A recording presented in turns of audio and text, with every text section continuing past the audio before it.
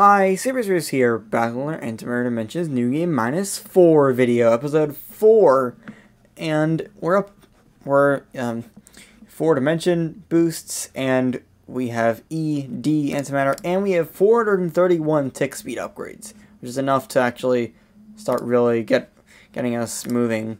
So, yeah, this is exciting. We can get fourth dimensions, fifth dimensions. I can only get up to fifth, but that's okay because after getting all this, it's definitely going to speed up fair bit. I thought it was going to speed up a little more than this. Actually, no, it's already speeding up. Like, I'm our, like, yeah, this is getting good. And then once you get um, E, E, that's going to really be when things will speed up. And hopefully, yeah, we're going to get, an, we're going to get an achievement reward, which is a pretty, or not an achievement reward, reward but an achievement row. And in New Game Minus 2, er, in New Game Minus Minus, and New Game Minus Minus Minus, they, this gave a 5 times multiplier to all dimensions. You, you know how big that would be in something as, as just, you know, as slow as this mod, New Game Minus 4, yeah, it, it, it helps so much, like, like it, it's unbelievable. But I, I need enough antimatter to get there. And this is just the seventh dimension. I need E13 antimatter. It shouldn't be too bad to get the E13, and even though it's in hexadecimal, so it works a little differently, but whatever. It shouldn't be too bad. This this is E14 to get 10 seventh dimensions. That's when we start really getting this multiplier up. We're up to E3 in hexadecimal. That's the multiplier. So at least we're getting we're getting farther, but it's yeah, it, it's still a little bit slow. Probably shouldn't be complaining about this because this is probably near vanilla speed, but whatever. I I can't wait to get this galaxy. Can't wait to get the eighth dimension. I need E19 to get eighth dimension. That's I think that's a new record I need for antimatter. So I guess that's pretty interesting. Remember, galaxy is gonna be is above time dimension shift as a reset. Okay, now we're going fast. We're having like 30, getting like a 35% growth, which is really good. And unfortunately, it's, it's not going to be maintained. Whatever, it's it's okay. I'm avoiding these because these are just wastes of antimatter. I do not I do not need them. So we're just a few orders of magnitude away.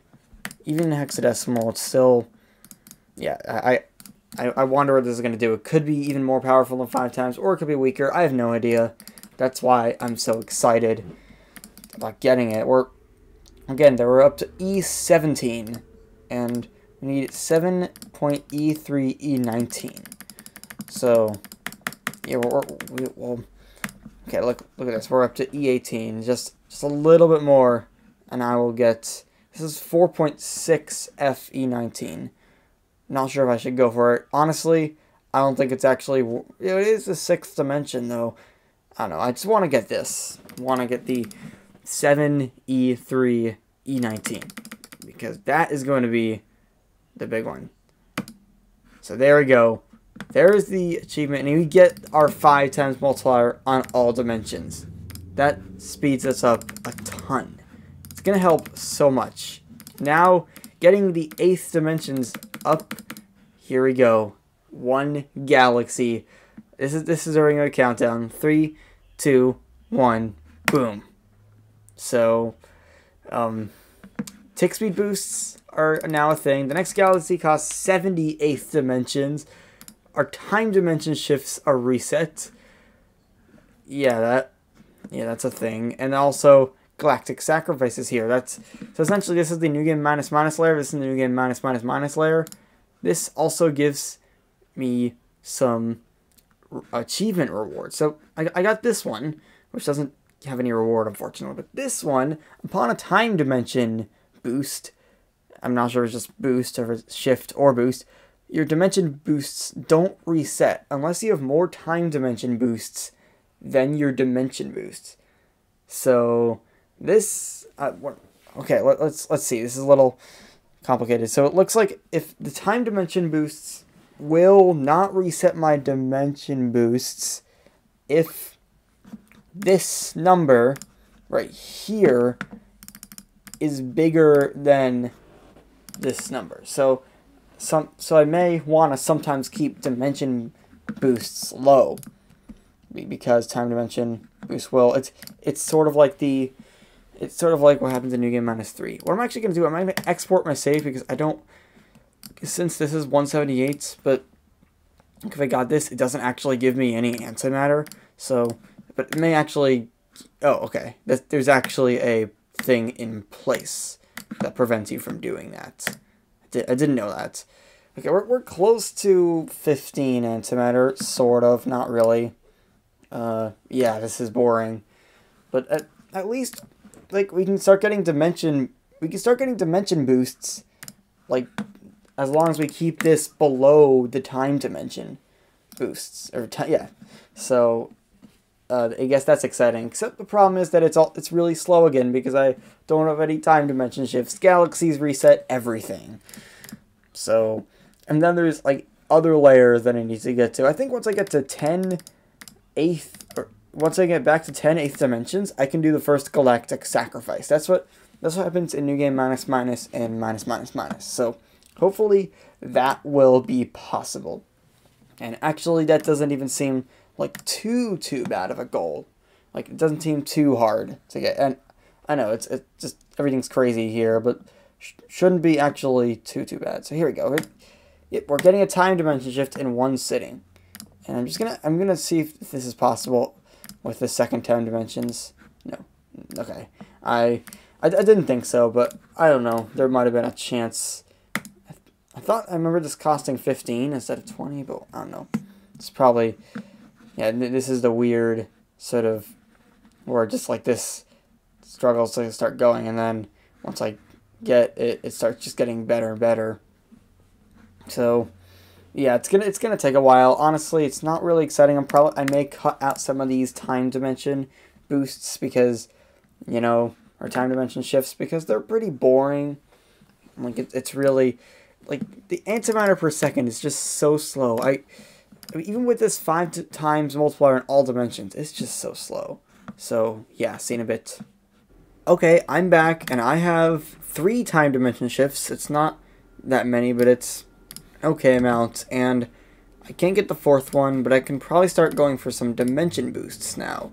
Considering now I can get I can get four third dimensions, and that's probably gonna really that's gonna speed up the game. Also, I have 370 tick speed upgrades. So that should easily get me to the four or the first dimension shift. And I, I have to be I have to be careful because I don't I don't want time dimension shifts to reset my dimension shifts. It, it's weird. So yeah, upon a time dimension boosts, your your dimension boosts do not reset. So it's as long as unless you have more time dimension boosts than your dimension boosts this achievement reward really, really confuses me. It really. This, there's another reward here, but um, yeah, this re- this is the probably the most confusing achievement reward I've ever had, because that means like I essentially have to keep my time dimension boosts low for it to not reset. That's and, my and my regular dimension boosts high, and I already have. And each reset just takes like a day to build back up, so I, I don't I don't want to do that. Um, I think it's just better to try to immediately go for the fourth time dimension shift, and then eventually, once I have I think about five time dimension shifts, maybe I should I, I should go for yeah I was a five time dimension shifts. I should just go for the gal go for the galaxy, and hopefully that will mean I can galactic sacrifice for the first time, because that's Galactic Sacrifice is, yeah, it's huge when, it, when you unlock it. So I'm almost there. I need to just get to EB, which shouldn't take that long. Hopefully, especially with, with this, which is going to give me a double multiplier on every dimension. So, yeah, it's weird. Unfortunately, the achievement rewards doesn't really help much. Because it's like, it's like, your dimension boosts don't reset. That doesn't really actually make make much of a difference. Like if, if you have to keep your time dimension boosts low. Like I'm gonna read it again. It confuses me so much. Just your dimension boosts don't reset if you have less time dimension boosts than your dimension boost. This that still manages to confuse me, but whatever. I I can get the fourth time dimension shift, and yeah, there's not not much I can do. It's just really really slow. It's never gonna be fast. So yeah, seeing a bit. Okay, I'm back. Well, quite a bit later, and yeah, we have E1A antimatter. It's enough to definitely get the next time dimension shift. I don't really, I don't think I need any more time dimension shifts after this. It's pretty crazy how much, like, antimatter we even have. Like, we're, we, we have enough to get, we're almost 10% to infinity. So, yeah, that that's pretty crazy. But, yeah, this, this is the final time dimension shift I think I'm, I'm going to go for. And it's hopefully going to get a lot more tolerable when I grind up to the eighth dimension again. So, yeah, seen a bit. Okay, it's been like months since the last time I recorded this because I, I recorded this before, like, like I recorded a lot of these clips before uh, this series was gonna be like a real series on YouTube, but now it's the first video is like ready to go on YouTube, so I'm gonna start taking this a little more seriously than before. So I mean, I was already probably taking this seriously. But anyway, I can get second dimensions, third dimensions. I guess I can get these. I can probably get these tick speed upgrades. I should probably get, yeah, the fifth time dimensions. Maybe a little bit of the, of the fourth time dimensions as well. And that actually should speed up progress to a decent pace. I mean, it, it won't be all that fast, but it'll, it'll be something, I think. I think all I need to do is just wait, like, I don't know, 10 minutes and I'll be able to do another dimension shift. So, um, yeah, see in a bit. Okay, I'm back like 15 minutes later, and I can finally get a sixth dimension so I can dimension boost. So, yeah, I I forgot how, yeah, this is, this is slow. I mean, it is, it is faster than ever before, probably. Like, I'm, like, I'm already up to gaining 0.16 antimatter per second. So, I mean, this is definitely quite a bit faster than faster than before. But the thing is that the next thing here is 40 antimatter, and even getting a quarter of an antimatter per second, that's still not really gonna do much, because that's still gonna take well over two minutes. So, uh, yeah, see you in a bit. Okay, I'm back a few hours later, and I can finally get another dimension shift, which means galactic sacrifice. This is this is huge. This is this is huge. This is gonna be the next episode because this is just this is this is a turning point in New Game Minus Four. I'm not sure what it's gonna be like, but I'm just gonna give you a quick preview. It's a prestige layer that's introduced in New Game Minus Minus. So, yeah. Hope you enjoyed. Peace out.